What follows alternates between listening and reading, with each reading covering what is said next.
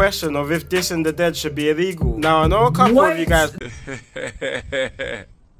Suey! Hey guys, your boy Sex the Sec Pack, and we're back with another reaction video today. Now, this one here, we've had a couple on the channel, man. It's a little docu series, violent backstory of the rudest diss track, Abzsav's Tables Turn. Now, I'm not gonna lie to you, originally, yeah, I didn't even know this was out yet. It's kind of a crazy coincidence. I was gonna react to a certain track, a few had suggested, you lot may be able to figure it out, but it just got snatched here. There was like two or three uploads all of them got snatched within the, like within half an hour of me even just opening them tabs here to get ready to record them. So ironically, this was on one of the suggestions from one of those videos. I can't lie to you, like I can't. This is this is one I want to see because we've been there throughout almost this whole situation. Abzsav, in my opinion, definitely one of the most up and coming guys in the drill scene. You don't already know. If you saw my end of 2021 video, man, I've been saying for a while, man, Abzsav is the guy I wanted to see do a lot more, man. And he's come with a shock factor, we cannot deny. He's had a lot of shock factor when the tables turn, but he's had skill. People wanna, people, I'm uh, they wanna say, do you know I mean, the skill's not on show there. We're gonna see what comes out throughout the rest of the year. But if you look were there when L's down dropped in them sort of tracks, then you know Abs has got the skill. So we're gonna see what's gonna happen. But enough waffling, we're gonna check this one out. Before we do, make sure you smash that subscribe button if you're to the channel. Hit that post notification bell as well so you know when the next video drops. It could be your reaction video suggestion reacted to next. Make sure you go follow all my socials, check out the Spotify playlist, and if you want some banging specially made discounts for you lot on Amazon, make sure you check both those links in the description box. And most importantly, drop any suggestions you want me to check out down below in the comments section. Without further ado, the violent backstory, the rudest diss track, Abzsav, tables turn. Let's go. UK drill fans are going wild right now after a West London rapper called Abzsav dropped probably the rudest three songs to ever come out. In today's video, we are going into the backstory of these three diss tracks, which will clear up a lot about why they are so violent. Let's get into it.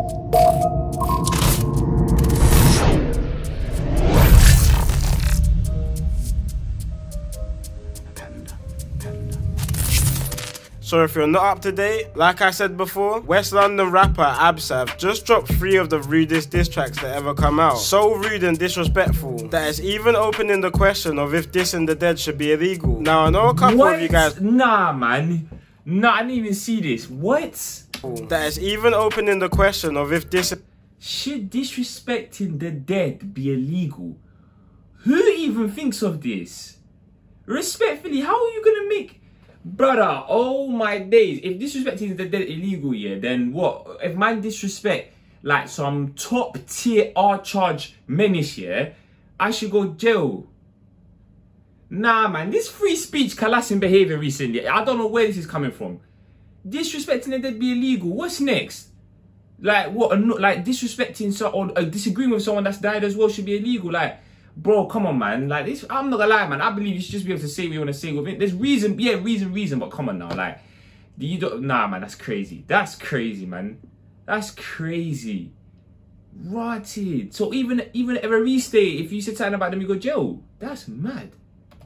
dissing the dead should be illegal. Now I know a couple of you guys probably have not heard the songs, so I put them on the screen now. Also, don't get twisted because people love to run around with the stories. I'm not saying disrespect the dead. I'm just saying, like, I don't really think you should be controlling people on them sort of levels, man. That's a bit mad. But we'll be breaking them down and going through the history behind all of this. So the rapper who dropped these tunes is a rapper called Abzsav, who's from an area called Northolt, at the edge of West London. And from the outside in, it doesn't look like the worst area. But Northolt is home to Abzsav's gang, N Gang. N Gang is also part of a bigger gang across the London borough of Ealing, which is a collective of members from towns in Ealing called Southall, Greenford, and of course Northolt. The reason they're called 156 is because the areas covered in the gang are UB1, UB5, and UB6 postcodes. 156 beef quite a lot of West London, especially its surrounding areas, but they're mainly into it with a gang from Rayners Lane, which is a 7 minute drive from Northolt where Abzsav is from. But 156 are better known for their feud with another gang from West London called CGM, which is infamously the gang of the big rapper Digga D. And the I can't lie, see Kid Nerd, yeah, I like the, the, the continuity.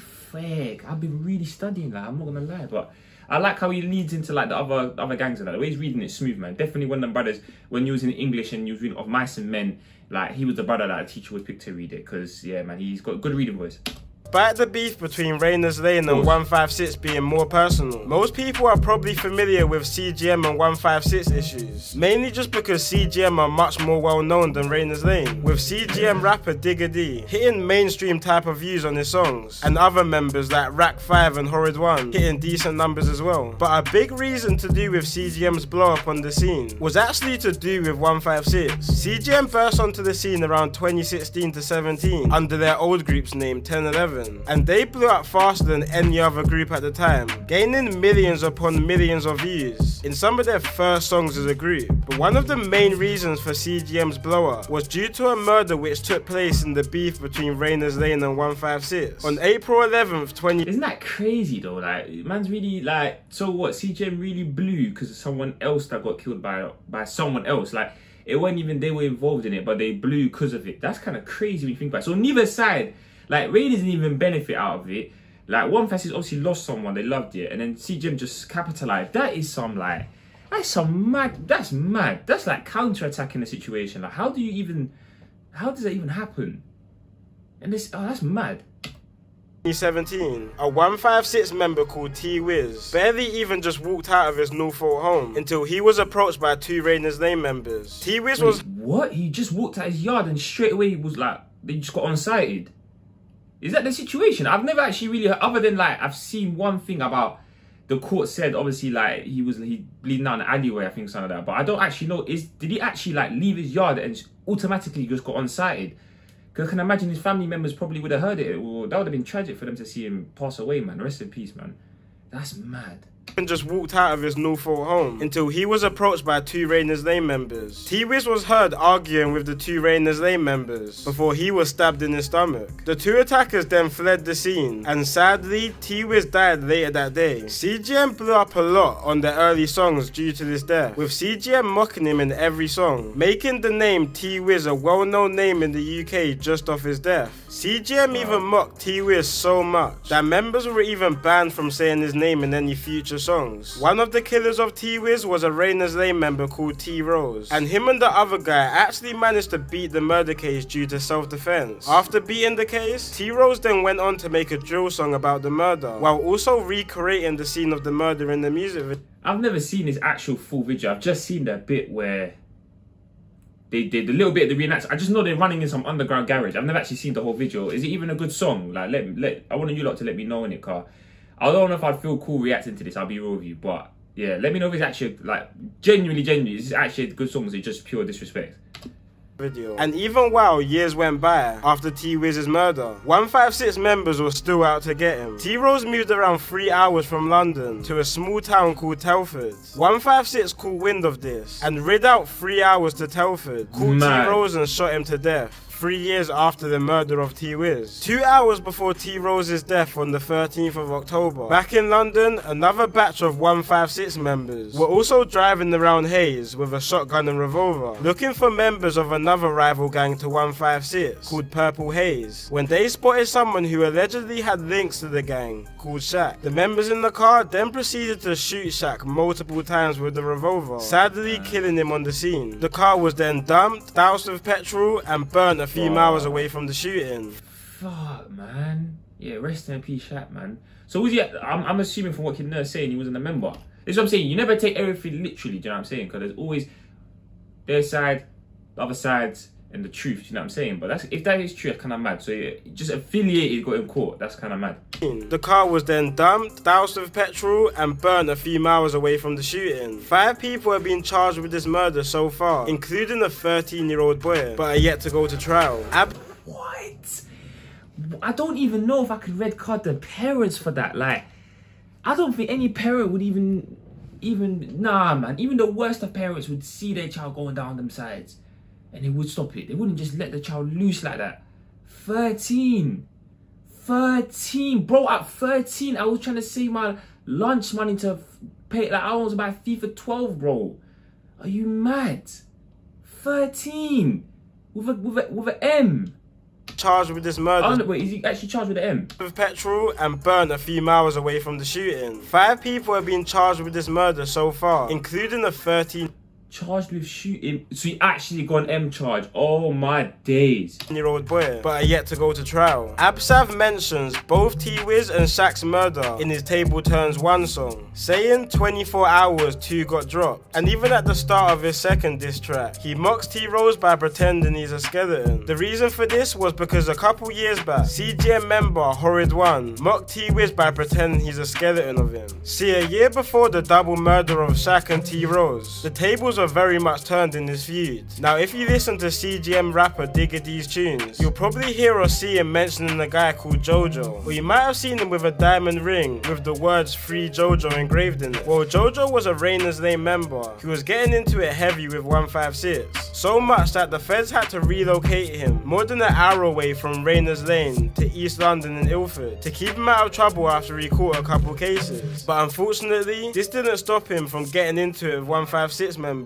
which was clear on November the 18th, 2017. On this day, Jojo left his Ilford home carrying a black motorcycle helmet at 4:45 p.m. and got a train from Ilford to Northolt, territory of the 156 gang. He then met Just so you don't know, yeah, Ilford to Northolt is brazy, bro. That is the definition of the one side of London to the other.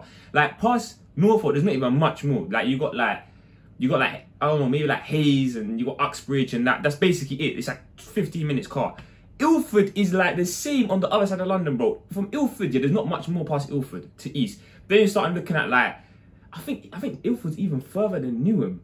I think it is. I might be mistaken. They're either one side of each other, but like past that, you just got Dagenham and Essex. Like, bro, that's easily you know in a train. That's easy hour and a half. Easily hour and a half, two hours on the train, one way. That's mental. Dedication. That's fucked. Can't even blame the Met for that. Can't even blame the Met for that. They tried. Met up with three friends, and around 10 pm, with two mopeds and shanks, they started to circle around Northolt looking for 156 members. Unfortunately, on some bad timing, some affiliates of 156 just happened to grab some drinks from a shop and were heading back to their friend's house to enjoy their Saturday night. When they got to a road called Newnham Close in Northolt, which was the same road their friend T Wiz happened to be stabbed to death a few months back, Wow. Jojo and his friends spotted the group and jumped off their mopeds to try to catch up to them. The 156 group split up and started running for their lives. But once Jojo and his friends got back on their mopeds looking for the group, they managed to spot an 18 year old called Jason Isaacs in a dead end separated from his group, which resulted with Jason being stabbed eight times from a sword and machete. Jason managed to get himself to a friend's house and eventually to a hospital, but a few days later, sadly, he was pronounced dead. The mopeds from the attack were dumped but later recovered by police, and once the forensic team investigated them, Jojo's blood was discovered on one of the bags. Not only that, but when the feds pulled up to Jojo's house, they recovered the same puffer jacket, hoodie, and helmet which was shown on the CCTV from the Oh. attack. Jojo was eventually charged with the murder, but the So he held all the guns. He basically held it. That's crazy, man. Oh, that's mad. Rest in peace, man. Is it Jason, the guy's name? That's so. You see that dead end thing? I don't even know what can what can even go through your mind, bro. Like in that situation, like that's genuinely, genuinely. That's the thing. I just wish mercy on that person's soul, car. Imagine you're in a dead end. There's three men chasing you on two on peds, like they've got all sorts of tools and that, and you, you know you can't go anywhere. It's just a fighting thing, or you're just gonna have to hold it. Like, and either way, you're gonna really hold it. You know what I'm saying? And yeah, to be fair, he's a fighter though. You know, he went to his boy's house, tried to get help. Cool. You know what I mean? He fought for it. He fought for his life, man. Rest in peace, man. But that's crazy that the Georgia guy was still holding the guns in that. I'm surprised. Feds pulled up to Jojo's house. They recovered the same puffer jacket, hoodie, and helmet which was shown on the CCTV from the attack. Jojo was eventually charged with the murder, but the only issue was that there was three more people to catch. The evidence was crazy on Jojo, but the feds didn't want him just to go down for the murder. But Jojo refused to testify against his friends, Mad. and ultimately was sentenced to life with a minimum of 20 years. Just like T-Wiz, Jay was heavily mocked in songs, mainly from Rayners Lane members, with no type of remorse for the two young lads which were lost. And you could tell mentally this really took a toll on Abzsav, who had just lost two of his friends. In the recent interview he just done with Fumez the Engineer, he talks about how people were dissing his friends for years. And back then, for a lot of people, it was all fun and games, without anyone realizing that certain guys actually lost a friend in real life. He goes on to say, Fam, this is facts, bruv. I can't like that is facts. Like even in even in YouTube comments, I, I see people get into it a lot. You know what I mean? A lot of people knowledgeable on these beefs, even if they're not from them areas. It's quite surprising. But at the end of the day, man, do you know what I mean? Someone's lost a son, someone's lost a brother. So in some cases, someone's lost a father. Do you know what I mean? And people have lost friends, man. It's, it's, it's peak, bro. It's peak. But but yeah, man. Can't like he knows he's rocking this right now. I'm like, I'm not even chatting too much. I'm kind of fascinated.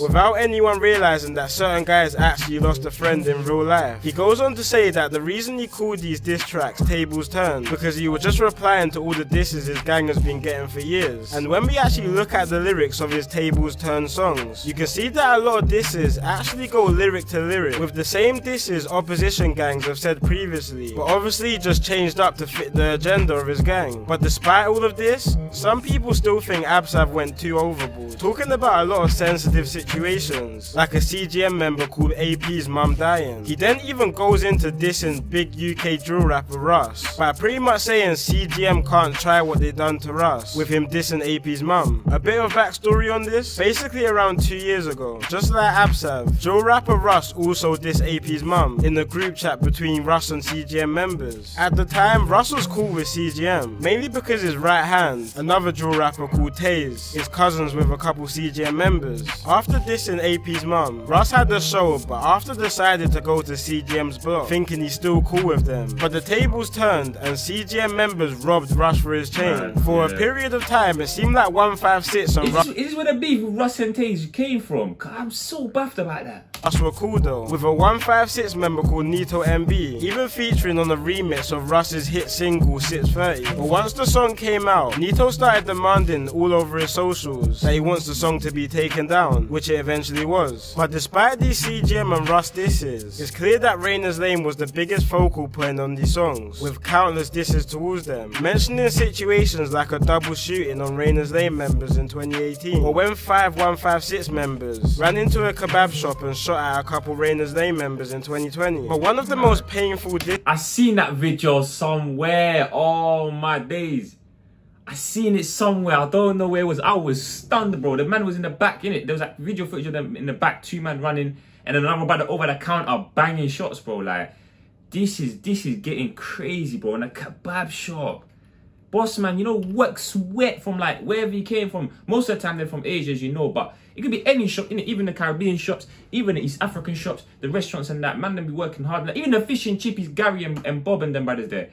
And you just pull up and start banging it, bro. That's crazy. That means no one can get dinner for at least two, three hours, probably two, three days, if if the feds really want to go like go ham, forensics in that. to a kebab shop and shot at a couple Rayners Lane members in 2020. But one of the most painful disses was on a situation that took place quite recently, on the 11th of June 2021. A 15 year old Rayners Lane member who went by the name Jay Taps was on his way to school around 8.30 in the morning when he unfortunately bumped into a 156 member. In video footage, which is way too graphic to post on here, you can see the two get into a tussle, which ended with Jay Taps being stabbed multiple times and soaked in the blood of Paul in his own school. 8.30! Yo, 8.30, man. That's, that's, that's earlier than the 9 to 5. That's during rush hour. Do you know how crazy that is? I'll be stunned if whoever did it didn't get back. Because that's rush hour. That's school run. That's prime time with people on the road. Like just civilians and everything. That's nuts. 8.30.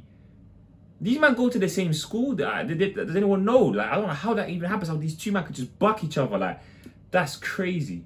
Clothes. This was literally broad daylight in front of herds of kids making their way towards school. After the stabbing, the kid ran away from the scene, with even builders who are working on the site nearby trying to catch up to the kid until Man. the police came. A 156 member called Slims is currently awaiting trial for this murder, He was also only 15 and was making his way to school, which is crazy to think that this feud is running so deep that school kids from each side are turning on each other. In Abzsav's second diss track, he even mocked Jay Taps for not making it to his 16th birthday, which is sad to know that somebody so young lost their life to this feud. Just before Jay Taps' death, he was seen in a couple pictures throwing up gang signs, and literally just a few days before his death, he was seen in the Rayners Lane music video called For Real, which would have made Wait, him what? Few days. days before his death. He was seen in a couple pictures throwing up gang signs. And literally just a few days before his death, he was seen in the Rayners Lane music video called For Real, which would have made him a target for 156 members. Apart from Rayners Lane, Abzsav also takes a dig at pretty much half of West London. Areas like West Drayton, South Acton and Wealdstone, who are all lesser known areas to have conflicts with 156, which really makes you deep how much beef 156 actually have. But I want to know what everybody thinks of these tracks. The people think Abzsav went too far on these, but the people think it's justified due to the previous mocking of his friends. And most importantly, the people think these tracks are even worth it. It's definitely got the whole community talking and hearing about Abzsav, which could work to his favour in his future career. But with the police taking down his songs, his YouTube channel and even his TikTok, he's Right. probably gonna have trouble in the future making any songs without them being taken down. With the police pretty much having control of what is allowed to be put out there. These tracks also might get him blackballed from the industry, with a lot of labels and shows not really wanting to get involved with controversial artists, which can mess up their brand, which may even prevent other artists from wanting Do you think as well, yeah? I don't know if it's just me thinking this, but do you also think like with the amount of disses Abs has dropped here, and it's obviously CGM being one of the main receivers of that, the main collections and them man there, yeah? Do you think that labels that work with Digga, work with them brothers there, work with people that Digga works with as well? Like, do you think they? I don't know how the scene works, but I'm assuming people's feelings just get hurt easily in, in this world. So Oh, I don't know. Do you think it's gonna be a thing? He'll even get blackballed from labels just because they worked with Digga or they work with Digga or anything like that, just because they don't want to have that conflict on the brand. I don't know how it is in the drill scene. 'cause I don't really look into the labels thing too much, but just just food for thought, innit? It's just food for thought.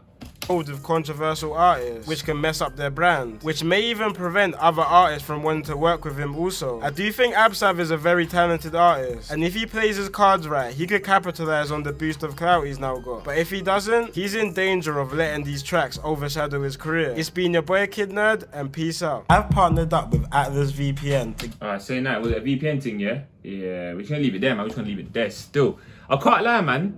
Kid Nerd did well on this one still. Definitely did well. Good good consistency in that. Interesting, man. Obviously, I hope you lot got your beveraginos, because I usually tell you lot to get your beveraginos before the before the video, but fortunately, man, I was lacking today. But yeah, this one, man, good detail, man. I, I don't know how much of this is true. Do you know what I'm saying? I'm not a speculation speculator. But you know what I mean? If I was a journalist in my time, I could I could give you the info. But unfortunately, I, I don't I, don't I don't have it. I don't have it for you. But I'm gonna leave it there, man. Listen, if you enjoyed the video and you like these type of videos, make sure you like, comment, share, smash the subscribe button, and hit that post notification bell as well. Drop any suggestions like these videos down below in the comment section, and check out the Spotify playlist and my Amazon discount link for you lot in the description box. Without further ado, it's your boy Sex, SecPaq, and I'm out. Sure.